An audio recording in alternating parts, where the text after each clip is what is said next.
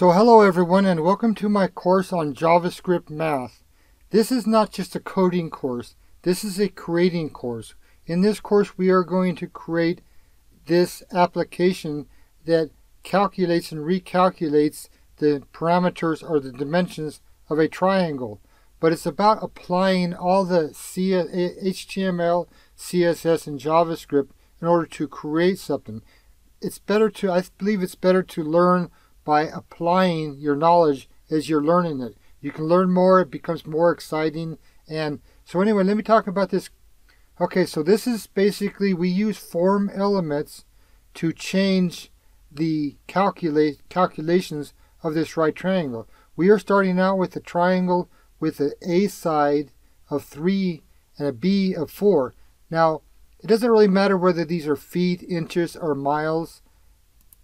If we got kilometers or anything. That's just, I wanted to uh, use this, the units functionality in order to be able to practice using the select element. So we are going to use these form inputs to recalculate. So now, basically the Pythagoras theorem says a squared plus b squared. In other words, the sides of a right triangle, when squared and added together, equals the square of the hypotenuse. So that would follow that you take the square root of the sum of the squares, you get the sides of the hypotenuse. And this has very many applications in math, and science, construction. So we can do we can put any numbers we want in there, say like 56.7 and 54.2 and when we hover off we get the whole different calculations. Now if you take your scientific calculator out and you take 54.2 square it and then take 57.56.7 and square that add those two together and take the square root of that you're going to get approximately 78.4 to the near rounded off to the nearest one now we can change that too. And that's how this works. Now the angles will also be calculated in, in this. And we're going to talk extensively about what these angles, the, these trigonometric functions are. We do a lot of console.log experiments. So you will need to be able to understand how to use the console and the inspect elements.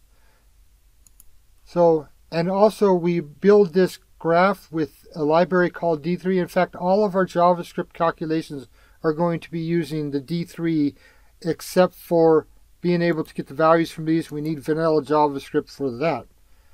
But I also want to, I do have a little bit of a discussion on using vanilla JavaScript to do our calculations. And I wanted to add that to contrast the difference between using vanilla JavaScript and a library. Now, using libraries like jQuery or, or D3 or to do our calculations makes it easier.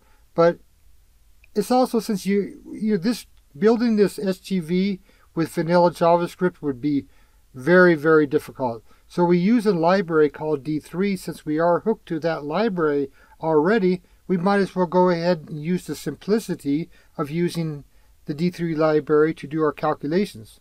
So anyway, that's this course, and it just takes a little bit of knowledge in HTML, CSS, basic ability to understand math.